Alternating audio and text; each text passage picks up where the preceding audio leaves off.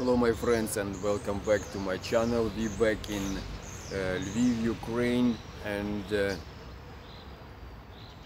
in at the time of uh, Ukrainian-Russian conflict, war, we have to remind uh, where all, all of this began.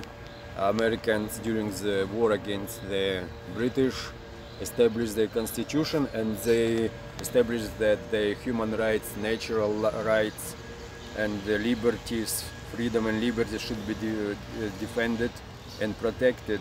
So my young Americans, uh, remember that you have rights under the constitution. You are able to protect yourself, your family by using constitution and your human rights um, we, uh, which are in uh, constitution and uh, using proper judicial process in America you can protect yourself. You just need to learn how to do that.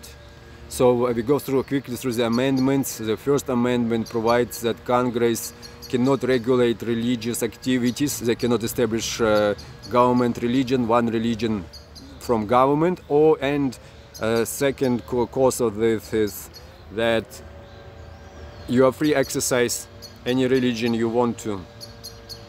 Second amendment uh, you, there, should be in case of war should be well established militia and you have rights to bear arms the most important amendment in united states constitution you are able to have arms and protect yourself.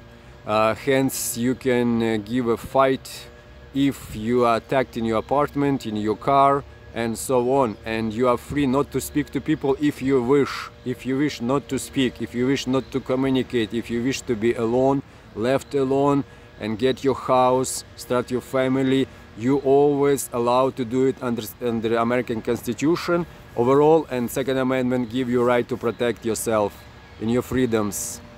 And the third amendment uh, uh, you, america prefer peace over the war prefers civilians over mi- militia. You have right as civilian.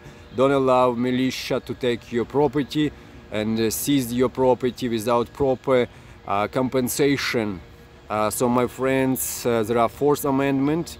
Uh, you have right to the uh, you have right to protect your property from unreasonable searches and seizures. You you you can protect yourself from arbitrary arrests. And uh, you need uh, they need to have search warrants. Stop and frisk policy are not permitted. Wiretaps are, are not permitted. Violation of human rights as it is it was in ukraine and russia are not permitted in america. Ukrainians uh, and russians who move to america tend to think differently. Their uh, mindset is different from americans. Uh, they tend to miss communicate the meaning of constitution, the meaning of American way of life. Uh, it's very hard for Ukrainian politicians, even scientists, even philosopher uh, or religious uh, or Russians, as a matter of fact, uh, religious persons to communicate any of the concepts uh, in English. And if translated the elements of culture psychological elements gonna be lost. Hence uh, you should be very careful of understand uh, you should understand the differences differences between western civilization eastern civilization uh, civilization uh, as it is formed in ukraine and russia and be very protective of your values uh, values of americans. And uh, we're gonna go to the fifth amendment uh, amendment no person should be held to answer for a